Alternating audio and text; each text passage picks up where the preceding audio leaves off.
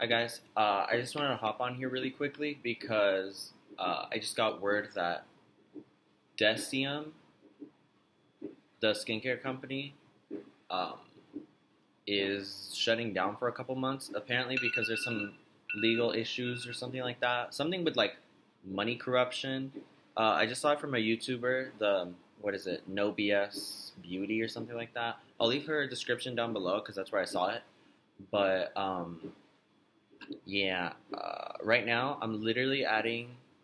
I'm probably gonna buy hundred dollars worth of stuff on their website because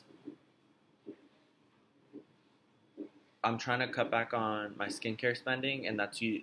The Ordinary is like a ridiculously inexpensive brand that I was really gonna buy a bunch of stuff from, and hearing that they're gonna shut down is making me go a little bit crazy. So I'm gonna stock up for maybe like a year, and we'll see what goes from there. Cause that is honestly where I was gonna spend most of my skincare money was the Ordinary, and now they're shutting down. So, uh, yeah, if you're super into the Ordinary or anything, definitely stock up. Hopefully, this isn't a marketing ploy to like get people to buy stuff, but gotta do what you gotta do. Alrighty, guys, gotta go buy my stuff.